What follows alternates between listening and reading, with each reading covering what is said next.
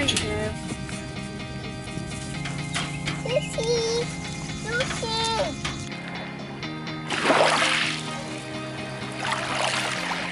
You can see Esopus lighthouse over there. What would you like if you weren't living at the Bruderhof? Um, well, I think I'd probably enjoy more free time, although I actually am not quite sure if I would have more free time. I can't really imagine living outside of a fellowship of people where I've committed myself to. Um, I think it would actually be really unnatural um, because when you love your brothers and sisters, you don't want to be separated from them, um, even if challenges do come along.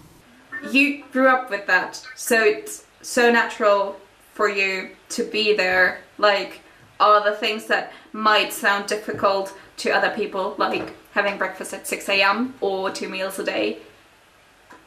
You've just been brought up with that. Like, apart from having committed to that, you know the lifestyle from very early on. You grew up in the Bruder, Bru, Bruderhof community. I don't think. Yes, it might. It probably is easier for me because I grew up on the Bruderhof, um, but I do believe that what if if for people who who come, you find such a love for brothers and sisters and such a love for Christ that you will do anything for them despite the difficulties. So like I actually think that the love part is the important part. I don't know if that makes sense. So can I ask you what you think you would like about living on the Bruderhof? I love community. I love other people. I love to be aware of being supported by other people and support other people to like what you said earlier the responsibility you have for one another and that you're aware of that and that you can count on other people.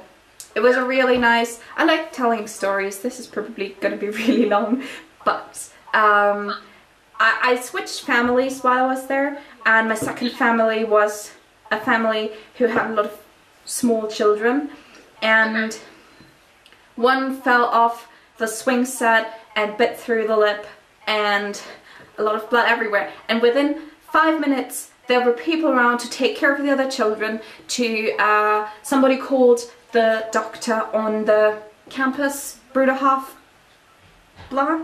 Um, and like within minutes everything was tried to be sorted out and everything was like not fine for the kid. Um, but like people took care of everything and I like that that to know if something happens the people around me will notice and it's in a way not something surprising if somebody reacts on my needs so what do you what do you like about living at the Bruderhof That's a that's a good question.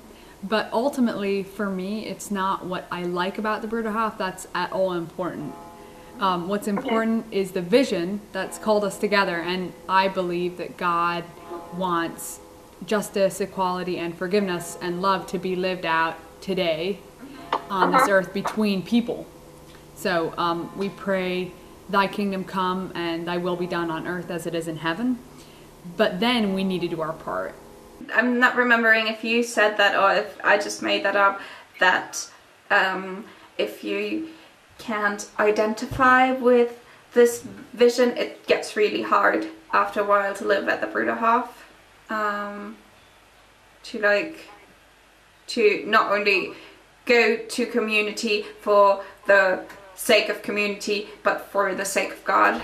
It is true you need you need a vision as to why you live this life because eventually after a while in any situation where you live even if it's you know far away you you will event you need something to live for right? And for me i found that that living here in community is and and living for god's kingdom it that's gives me purpose. It gives me hope. It gives me more than just myself and my family and all the small little things that come along in life. You know those can really get you down and, and you can get really discouraged and kind of pessimistic even but then when i think about this goal this vision why i'm here because it's for jesus it's for his kingdom then then it works out But if I was here just for the sake of community, yeah, it would be a pain in the butt. I would not be here if it was just for community. I can promise you. I find it really interesting to hear that because for me, community in just for the sake of community sounds so appealing um, that it, it just it- maybe I romanticize it in my head that I'm like, oh, this is the most beautiful thing you could do with your life, living your life with other people to whatever level. Um, But then what what are you going to do when you run into problems? How are you going to deal with that? You you kind of need to Yeah. have something to come back to. What are you founding on? I think if you want to live in community, you can find this, but I get more and more aware of that it's not as simple. And you know, and especially if you get people with very very strong characters, there there can be a lot of friction. Yeah i really about these like living together things. I really I think I'm a natural tidy person, but if I'm living with somebody who isn't tidy, I'm like, yeah, okay, then we're not tidy. Who cares? Yeah, but what if they started spilling their stuff into your space, or started their friends started sitting on your bed, or entering your personal space? I mean, that would probably drive you crazy, right? Yeah, I think that's quite. I'm um, still, I'm really romanticized about the fact that if you talk about things, they can be solved. But I'm not sure if that's really working. Yeah, sure. Talking gets you to a certain point, but it, you it, it's gonna have to go deeper at some point. Yeah. Yeah. Because we're all humans. We're all, I mean, selfish and, and stubborn often. And I think if you like, I don't know if you if you had that too when you were a child or a teenager, that you could be perfectly polite to other people, but it gets really hard with your own family, and oh, that your mom, your brother, whoever does something, and somebody else like me would do the perfectly same thing to you, and with me you wouldn't care, and with your family you go, just like, why did you do that? Yeah. And Yeah. I think with like living together, it's sort of the same thing that I'm now like when I meet other people and they're like, oh, my flatmate always does this and this, and I was like, oh, I wouldn't care about that. And then when you actually live with these people and you see them throwing away their shoes every single day, and you're like, why can't you put away your shoes? Yeah, exactly. That's exactly what it is. Yeah. but it is awesome, and you've seen, you've definitely seen the positive things about living in community. Yeah, yeah, I, I really loved it.